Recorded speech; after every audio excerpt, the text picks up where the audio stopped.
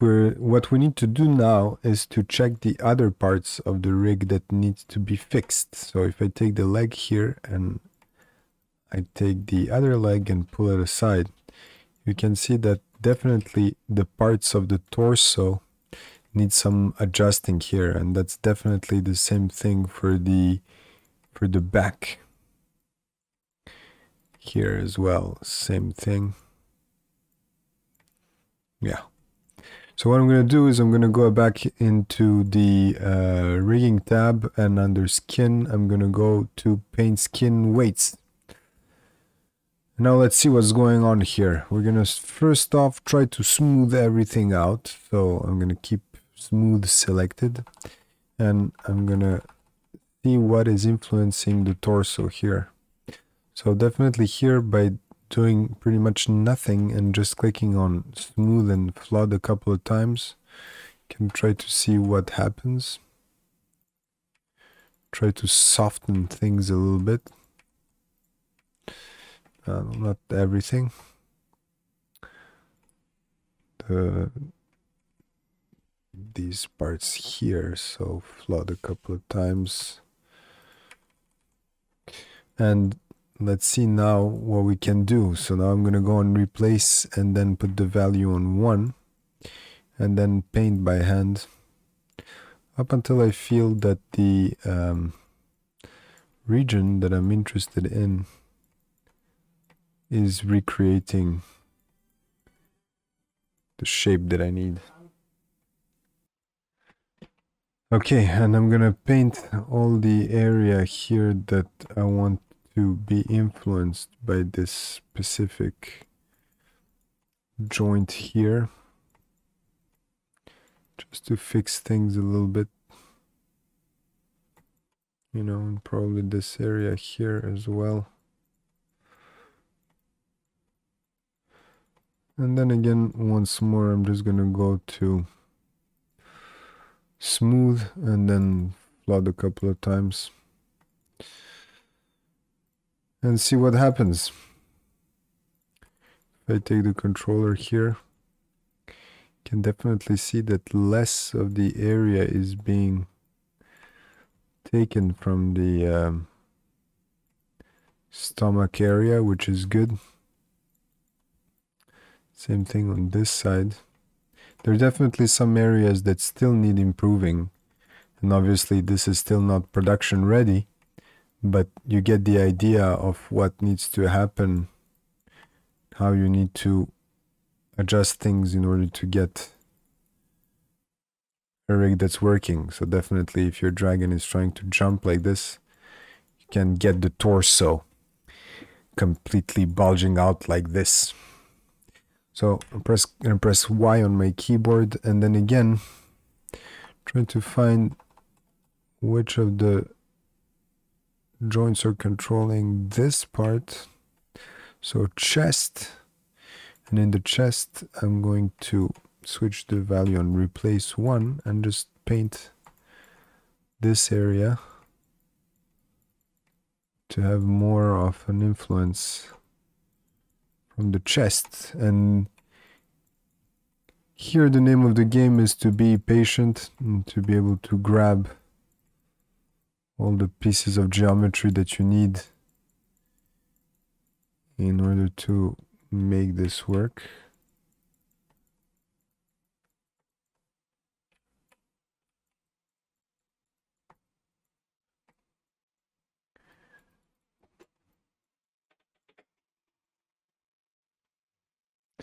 Gonna go back to smooth and smooth a couple of times again.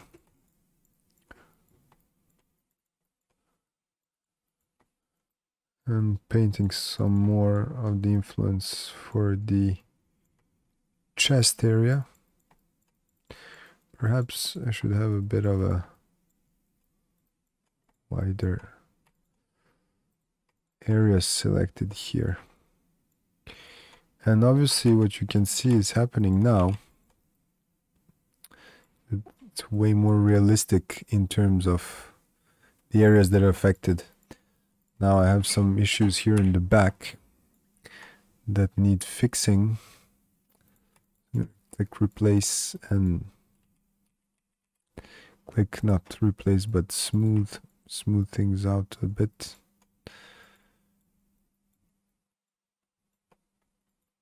and like so maybe it's also easier to extend the limbs sometimes like this put them in a position that is easier to control. And paint again.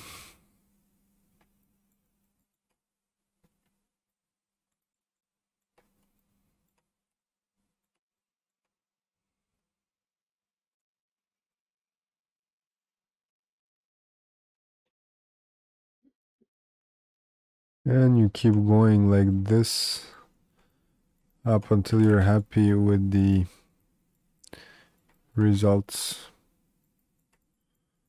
overall results you're getting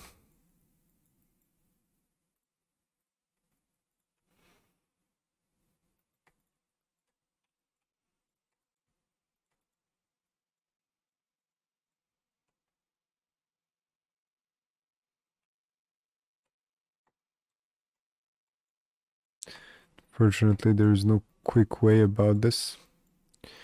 Just need to spend the time.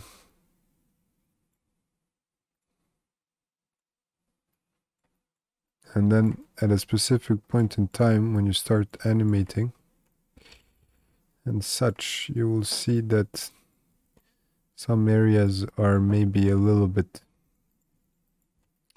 problematic. And the point is that, you know, you take it from there. So you test your rig, test your skinning to see if everything is going somewhere. You give it a go, an animation, you know, to see if things are moving. Like for example, here I have some movement that's happening around here that I don't want. Now I need to check why. Because this is linked to something that's around here. And I don't want this so I'm gonna paint it out. Put it on zero. And try to grab the problematic.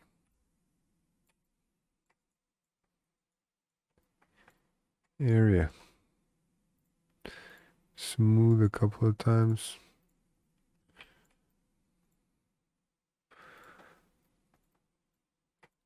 to get more of an easy access to the problematic region.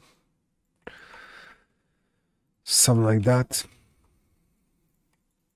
Then select the control and you can see it's not moving. And you need to do like that for most of the regions of your of your of your rig. You get the point.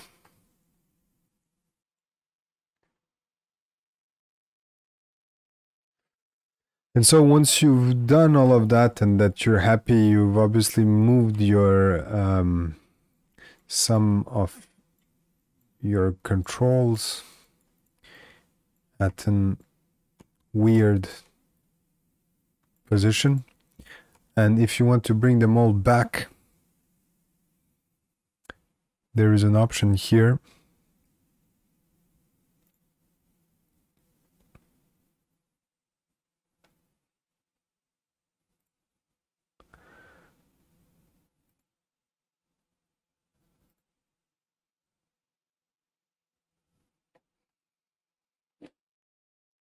There's a quick option here that says go to build pose and if you click that, boom, everything gets back into your build position. Would be a good time to save now and there is one more thing I want to show you before the very end here.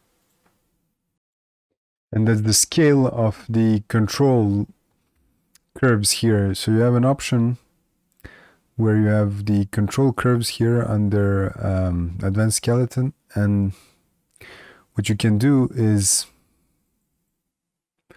actually scale all of the controls.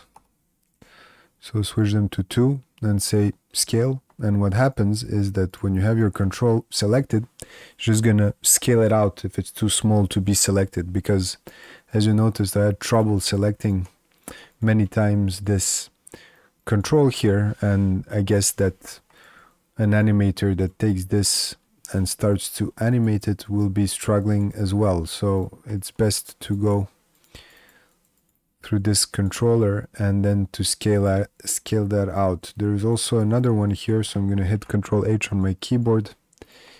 Select this one. And this one is very important. It's controlling the spine. This one as well. This one this one and this one. I'm just to click scale. It's to scale all of these controls out. Show all and then control shift H to show last hidden. Just say show joints remove the joints for a second and see if it's you know it's much better and easier to select you know parts of your rig like this. Yeah. So obviously this is not finished but it gives you a very good idea on how to rig a quadruped character and get it ready for production